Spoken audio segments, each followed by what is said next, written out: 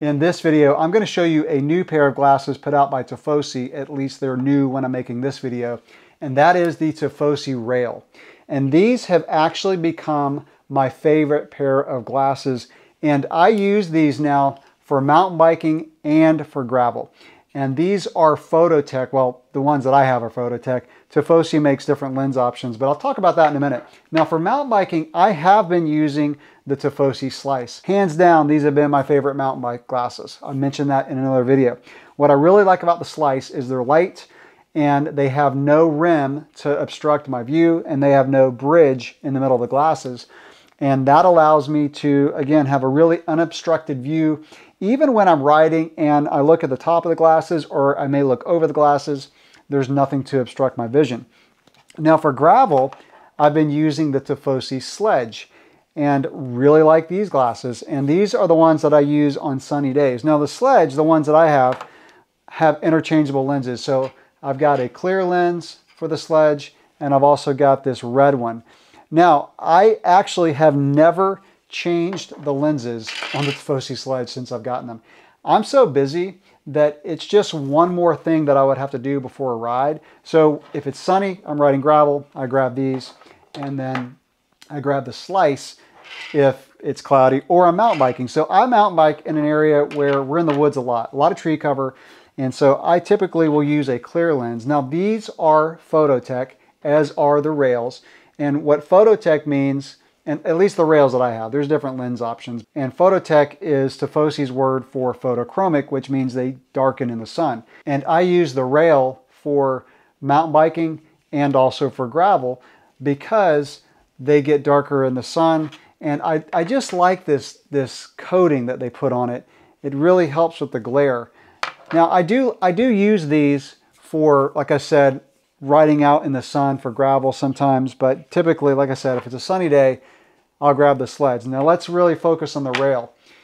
This is a bigger lens, as you can tell from comparing them to the Slice. And so that allows me to really have a lot of coverage when I'm riding. Uh, and you know, it's funny how sunglasses have changed. Like back in like the 80s, remember the Oakleys and the really big kind of goggle looking glasses and then glasses got smaller and now they're getting bigger, which I really like because I like that extra coverage. Now, just like the Slice, the rail does not have a bridge and does not have a rim. And when I have these on, like there, I can see no part of the glasses. Just in my peripheral vision, I can see maybe just a tiny bit of the arms. But again, these have really good coverage. You can tell by the curvature of the glasses that they really wrap around. They curve around actually even just a little bit more than the Slice. But one thing I like about these is they have a pretty good secure fit on my face. Now the Slice, even though they're light, even though there's no rim or no bridge, they don't give a lot of grip on the side of your, uh, on your temples. And that's because there's not as much lens. Now that's typically fine, but every once in a while they can slip down. The rail just have a bit more of a secure fit, and I'm gonna assume it's because there's more lens and it's just a stiffer pair of glasses. And so again, I get a little bit more pressure on my temples and that uh, allows me to have the glasses be a little bit more secure. Now I'm going to go outside here in a minute and show you how these darken in the sun. These have just a very, very slight tint. When I put them on, again, when I'm mountain biking or riding at night, uh, I don't really notice any kind of tint if it's darker. Uh, and because the, the lenses are pretty much clear. Uh, but they do get darker in the sun and even though they don't get quite as dark as the mirrored lenses that come on these sledge glasses, uh, the rail lens, at least the Fototec uh, lens, uh, does get pretty dark. It gets dark enough for me. Now, I mentioned you can get these in interchangeable lenses.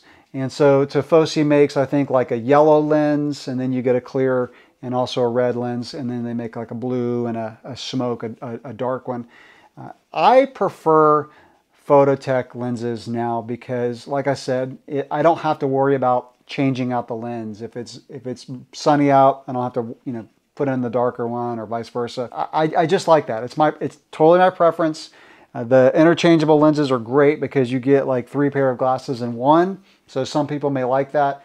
But I just now, I, I honestly grab these, like I said, on almost all of my rides. Mountain bike and gravel, you know, if it's bright and sunny, if it's dark, night, whatever, um, I just grab these. And they have really good coverage. And before I do the outside test, I sometimes mention safety things in my videos. And just wear glasses because you never know when you're going to get an object flying up from a, somebody's wheel in front of you or a bug. It happened to a, a, buddy of mine on our Tuesday night ride last week. He got a bug in his eye and he had the bug in his eye like the whole ride and he couldn't get it out. Uh, and he had to take his glasses off because um, he got some sweat on them. Oh, and that's one other thing I want to mention about these. Like the Slice, these sit off my face really important for me because I live in an area that gets really hot and humid in the summertime and we sweat like you wouldn't believe. And because these sit off my face, they're not contacting my forehead, so sweat can't drip off my forehead directly onto the glasses. Now I do get sweat on them, uh, just you know dripping, but it's not as bad as if the glasses actually made contact with my brow. And so again, that's why I like uh, the rail because they do sit off my face as do the slice glasses. I still recommend these. Like these, they just are a little bit smaller and they are have a little bit less pressure on your temples, which some people may actually like. But I'm grabbing these now most of the time because of the amount of coverage over my face. All right, so let's go outside and I'll show you how these darken in the sun. So I'm outdoors and even though the sun just went behind the clouds, it was just out. And so this is how dark they get out in the sun. To me, they're plenty dark for riding in bright sunshine. And they do a really good job, by the way, of reducing glare. So whatever coating Tifosi puts on these glasses, they reduce the glare, which is important when you're riding, especially like if there's glare coming off car windshields or coming off the road. Uh, you really want some glasses to reduce glare and these do a good job of it. So that is the new Tifosi rail. If you pick up these, you do get a hard shell case, a zippered hard shell case really nice. Uh, and then of course you get the microfiber bag, which you can use to put the glasses in if you didn't want to use the hard shell case, so a little bit smaller packability. Is that a word, packability? And of course you can use the bag for wiping off the lenses, which you always want to do with a nice pair of sunglasses because you don't want to scratch your lenses with a paper towel. Never wipe glasses with a paper towel. You can scratch the lenses. So Tifosi Rail, they retail for $80. Like I said, really good value. Um, all the ones that I showed today, I can still highly recommend. As I mentioned before, these are my new favorites and I'm grabbing these on almost all of my rides. I'll drop an affiliate link in the description below if you want to check out a pair of these. And if you get them, let me know in the comments what you think about them. Any other questions or comments, drop those below. Thanks for watching.